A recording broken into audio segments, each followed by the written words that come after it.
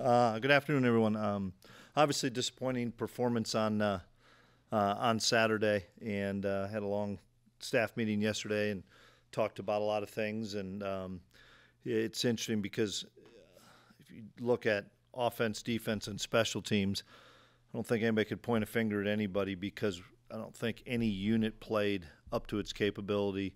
Um, and we struggled on third down on defense. We struggled um, to rush the football early. Uh, had a couple of turnovers, uh, couldn't get off the field.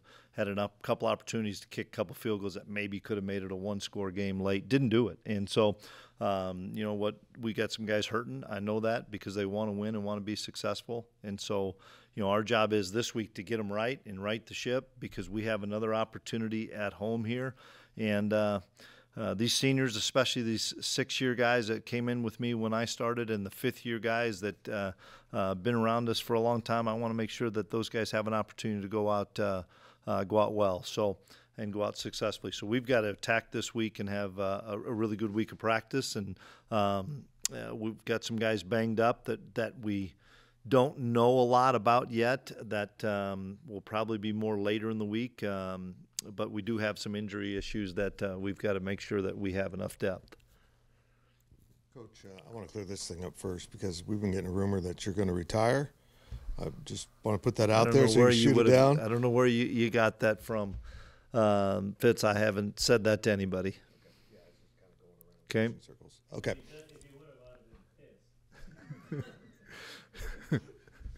Especially if I'd announced it here and yeah. he's sitting here. I'd have had more issues than that. Plus, my wife's not in town. I'd be really in trouble.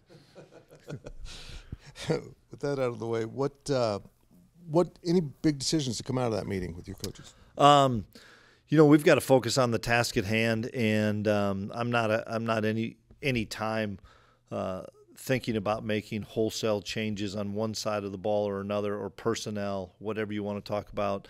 Um, we've got to find a way to get better, and we've got to find a way to stay the course. And uh, um, Gene hired me six years ago to run this football program, and I'm going to run this football program to the best of my ability every day to give us a chance to be successful on Saturday. And I know we've had a couple of tough losses, um, and that I'm frustrated about. Um, but um, we still have, in my opinion, a really, really strong culture and a strong program here due to injuries and absences, yeah. you got some younger guys on the field. Yeah. And Dante Cephas kind of evolved into a bigger role. What did you see that is tangible out of that? Boy, um, Trey Spivey and Dante Cephas came up big time. Um, Keagan uh, had an injury during uh, during warmups, and um, J Jack wasn't uh, available Saturday, so it, so it became those two guys getting the lion's share of the reps um, with Jason Ty. And I was so proud of, of Trey Spivey getting that opportunity and making some really good plays. The two point conversion catch was phenomenal, and the fourth down catch was big. That that's going to help him grow and continue to improve as he's getting um, more experience in this system. Seif uh, is just here for a year, but uh, I thought he showed up and, and, played big time. And then when we lost Dylan as well, we had a lot of things that probably wouldn't have mattered. I think Arizona State had a really good plan, but we had a lot. We had maybe 10, 12 plays specifically for uh, Dylan that um, we couldn't get off and couldn't get executed because he wasn't in there. And um, probably the only thing that that I regret was not finding a way to still talk about getting those plays involved and utilizing somebody else. You guys also know that probably DJ's not at 100% either. Um, and he's fighting through a lot of things, just like a lot of kids are in in later November. Um, but we had to lean on on DJ quite a bit. Then we throw Joe Jackson in, and Joe Jackson did some really good things. So there's some promising things coming out of uh, of some unfortunate uh, circumstances on Saturday with Trey Spivey, with Joe Jackson um, playing really good football, and uh, I know that's given those kids a lot of confidence, and it's given our, our staff a lot of confidence in them. Real quick, any injury update on Keagan and Dylan? Um, don't have an injury update on either one. Neither one will practice today. Um, I would say we're more hopeful for Dylan, um, but I wouldn't rule out Keagan uh, yet uh, either. Uh, probably going to be more mid to later week. When you have trouble uh, with, with, something as, as routine as long snapping, especially with, with two, two different guys yep. having trouble, what, what, what, what are kind of the steps that go into yeah. correcting that? You know, um, Nate Kaczor, who runs our special teams, that's as good as there is in, in, in football, not college. He's an NFL guy as well. Um, we've got to put him probably more in, in as best we can pressure situations in practice because we're really good um, Monday through Thursday doing that stuff. And then for whatever reason, um, we've been good all year doing it. And then the last two games, we haven't been. And um, um, I know it's some of it is a technique that Nate's been working on with them to try to uh, alleviate and then trying to get them in a little bit more quote pressure situations as best you can. We're not going to be able to put 50,000 in there and, and have them go snap, but uh, we've got confidence in, in, in both those two kids, in Mason and Andrew. And um, we've got to get those guys over the hump and get them out of that because um, uh, we've got a really good kicker, and, and Chris is kicking with a lot of confidence. So, um, those are the guys we have, and we're going to keep working with them, and we're going to get it figured out. And then offensive line wise, what, what's what's the biggest thing you feel like they need to do to get back to where they were? You know, um, couple is we've played some really good defensive linemen, and we're not getting the movement uh, in the interior as we probably were earlier in the season, and that's not a whole lot more than probably losing some one on ones. I, I hear the same stuff that that um, you guys hear. It's not a different defense. It's not a different blitz. It's not a different stunt. It's a lot of times just not having success in the one on ones, and then to that, we are getting some creases that a healthy DJ hits those things and is is into the next level, and we've missed a couple of those um, probably due to a little bit of DJ's health. And so um, those are all things that um, uh, we've got to improve and get better at. And um, that's why we've got to have guys like Joe Jackson. If they're healthy, we've got to be able to use those kids. Where can uh, Avery really take a big step forward in your eyes these last two games? Well, I, I thought he took a real good step forward from a leadership standpoint in the last couple weeks. He's been a lot more vocal um, and uh, taken a lot of the ownership of the offense in himself in the fact of he, he knows he can play better. I thought he threw the ball um, for the most part pretty pretty well. He missed a couple um, that I know he and Wells have, have talked about. Um, I want him to cut it loose a little bit more in running the football. Um, maybe not in the first quarter on the first drive, but in the red zone and in the fourth quarter because he's a real threat with his legs. Um, but you know we're 10 games into this and he's still growing, still learning, and I see some improvement. But I know that there's more in Avery. I think we all know that there's more in Avery, and he knows there's more in him. That that's the thing that I love about that kid is he doesn't think, no, I've arrived, I've figured this out. He, there's so much more football in him, and he's going to continue to get better and play better. Chris, we all go through you know difficult things in life where it can be distracting and hard to focus on work but you know you can't really take time off right now like yeah. some other people in jobs can how do you deal with with things this it's time been of year? A, been, been a, probably the biggest struggle for me right now not having family around um, uh, the peop, the, the guys upstairs and the guys downstairs everybody in this building has gone out of their way to help – the situation that we're going through.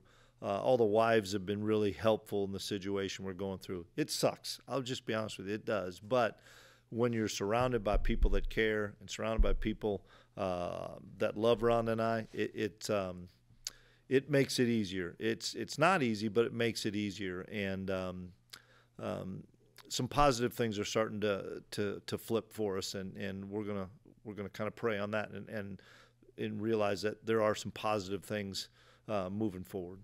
Well, that's good to hear. Um, football wise, your offense did kind of find some stuff in that second half, especially when you're going hurry up. Yep. Are there any elements of that you can use in a full game? Yeah, absolutely. Um, getting people um, uh, just off balance and, and not ready uh, for a situation, I, I think um, you've got to get into a rhythm to get to no huddle. If I've been on both sides of it where you just go tempo three plays in a row and you have the ball for 16 seconds, then you're punting the ball, and people are like, why the heck are you going tempo? You're just killing your defense. So you've got to be able to get a first down and then start rolling on things. And um, we were seeing a lot of vanilla stuff late in that game because they were up two scores, um, but we were still having success. And so some of those things need to be able to carry over. Um, into our choice down and normal down and distance. And I think probably seeing the confidence with which we played wet, played at when we were no uh, no huddle and, and, and tempo will will probably give uh, our offensive guys even more confidence to run more. As a defensive coach, is there any key you stress with the guys about improving on third down defense? Yeah, um, you know we're it's it's everything. It's rushing the passer. It's having great rush lanes, and this kid did a great job of scrambling um, when we are pressuring. Because there were some times that we pressured, and maybe we don't stay on the upfield shoulder, and he scrambles out and then he throws it off balance. That kid played a really good game and hits a guy in, in stride. Or we're playing zone, and the ball's thrown, and we're not breaking crisply all at the same time so we can vice that tackle. That's an inside outside tackle um, that we're just not doing a good enough job. And that's not just uh, this past week. One of the things that I know that Coach Klanderman has been frustrated with is we've been really good on third and short and really poor on third and long. And, it, and that's usually just the opposite. And we've got to do a better job of mixing in pressure and, and some zone coverage and, and doing a better job of playing the sticks. You talk always about trying to get better each day. Do you feel the last couple of weeks you're still moving in the right direction, or is well? You, you don't see it on the scoreboard for sure. So that'd be I'd be naive to say, oh yeah, we're, we're getting a ton better. We've plateaued a little bit, and we we've got to kick it in the in the in the tail these last two weeks to play better football. And um, you know when you you play more guys, and, and that's been a, that's been good. We've been able to play a few more of those guys we talked about on offense, um, but. Um, we're not playing as well as we're capable. And I think everybody sees that from where we were at in the middle of the season. Even when we were winning close ball games, I thought we were playing a little bit better. We were playing the last couple weeks, in my opinion, hoping not to lose rather than playing our tail off to win. And you can't play this game tentative, hoping you don't lose. And and that's not losing the game. It's hoping I don't lose on this third and long. It's hoping I I, I can convert this third and short, whatever it may be, hoping I can make a great operation on, on, on the field goal. We got to play a little bit more loose and just cut and cut it loose and play fast. And that's kind of going to be what we talk about today when we first get with the guys. I know this is an important topic to you. Uh, I was wondering if you might be able to dig in a little deep on the on the senior class and just what these guys have meant to you for five and six years. Yeah, um, you know they've meant everything to our program and meant everything to how we've been able to change um, the culture that we have here. I don't want to talk about previous cultures and stuff, just the culture that we had in in the fact of. Um, everybody that has fifth and sixth year guys that have stayed in the program went through COVID. Everybody does. And if you stayed in that program, man, I don't know how guys came out of COVID saying, boy, we're just flowing and, and everything's um, just matriculating great because we have this great routine. Nobody had a routine at all. And in, in spring of 2021, we kind of came up with the core values of discipline, commitment, toughness, to be selfless. And those guys – along with the guys that graduated in, in 21, 22, and 23, kind of championed that through the last handful of years to where those things become synonymous in everything we do in life. And, um, you know, I, I tell these guys and I tell parents all the time if the only thing your kid does is play football and get a degree, man, I have failed you miserably. I want to make sure your son can be a great NFL player if that's the case, a great entrepreneur, a great businessman, great school teacher, firefighter but but I'm going to make sure when he leaves here, he's ready to be a great community member, a great father, a great husband. That that's a win for me, and and those those players have bought into that. The ones that have been here so long that they've had some great wins, they've had some really tough losses, but I look at that senior class, I'm like, those guys are prepared for life and they're prepared to take to take on anything they're going to, and they're going to have a lot of adversity at, in life. But with what they've dealt with uh, here, they're going to be equipped and prepared for it. Probably goal obviously is to send them out the right way. How how important is that? Is that maybe yeah. a message that has resonated throughout? Yeah, um, but but that's all results, results, results. So if we got to find a way to win this game, yeah, we've got to find a way to prepare really well and have great game plans so we can execute those things so that on Saturday when it chips get down, we're just playing football and playing free and not worried about what could happen.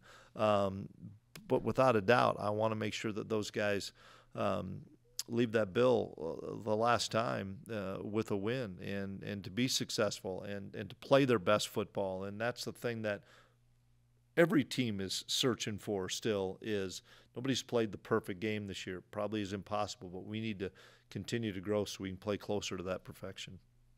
I want to get your thoughts on the uh, the drive when it was 24-14 that ended the missed field goal. Yep. Um, just your thoughts on the drive of like the substituting and you know just yeah, like that's where people kind of don't understand the rule of when the ball goes out of bounds on your sideline. There, it, we weren't substituting; it's an automatic substitution, meaning if the ball's anywhere near the white on your sideline, it's an automatic substitution because nobody knows if somebody's coming off the sideline. That's just the NCAA rule.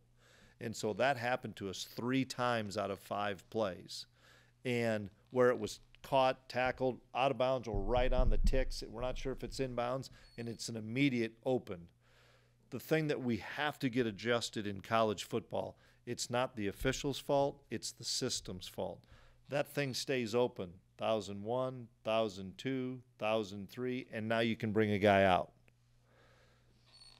Now you can bring another guy out. And you guys see it. Everybody's doing it. I'm going to jog out. Fitz doesn't know I'm coming in for him. Hey, Fitz, you're out. Oh, me? Well, you shouldn't have been in the game anyway because you're not a good enough player, Fitz, but you're, you're in the game. Oh, okay, so then I come out. So then I waddle off. And, and that happened, and we lost a minute and a half that's something that we all know. I talk to the officials about. We talk as coaches. We've got to get cleaned up. Nate Kaczor laughs about it because in the NFL he'd be like, "No, that ball's snapping. We're going." We've got to get that figured out in college football. It's not the officials' fault. They're doing they're doing it by the book, uh, but teams are taking huge advantage of that. And so that's something in the offseason I know we have to look at um, because it happens in every game you watch. Um, so that's what that situation was happening. And the easy thing would be to say, don't throw it into your boundary. Okay, well, then you're going to take half the field and say you just can't throw it there. If that's where his read took him, I don't want to tell Avery, you can't throw it there because we're afraid we're going to be close to the white, and then they're going to not stop the clock. I mean, boy, that's a lot of stuff going through that kid's head. And so that was a circumstance that obviously we, we've got to learn from, but also we've got to find some ways to fix that in college football. Cincinnati needs a a win to become bowl eligible, but they've lost three in a row. I wanted to get your thoughts on on their offense, their quarterback. Yeah, they're they're. I just got done watching a, a fair amount of them. I, I, I haven't paid attention a lot to any of the teams till they get onto our schedule.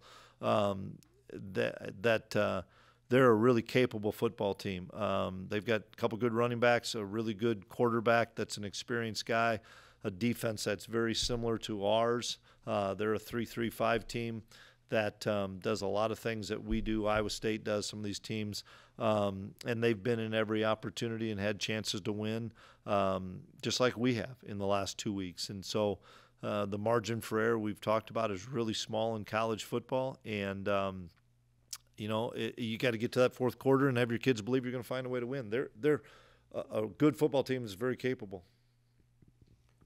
You talked about the zone coverage a little bit, but could you evaluate how your safeties are playing over the last month or so? Um, I'd say okay, but I'd say that about when when you when you talk about where we have been the last three weeks, beat KU, had lost a couple games after a bye.